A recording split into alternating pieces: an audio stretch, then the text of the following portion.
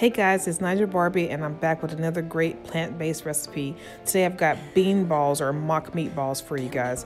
This is such a great recipe because everything is done in the food processor. You can find all the ingredients listed below in the description box. We're going to start by blending our beans and our sun-dried tomatoes first.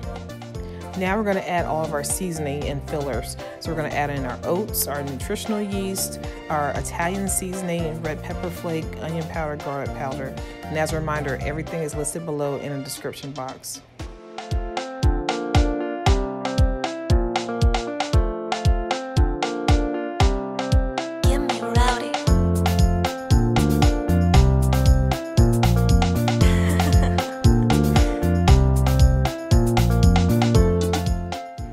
After adding our tomato paste, we're going to blend, baby, blend.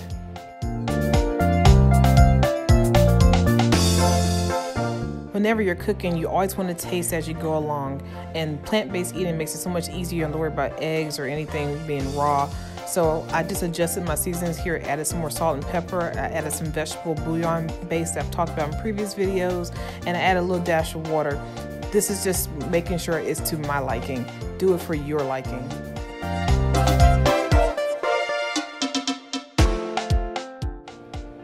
Once we finish blending the meatballs, we're going to go ahead and roll them out into actual balls. One can of beans should yield about 10 meatballs.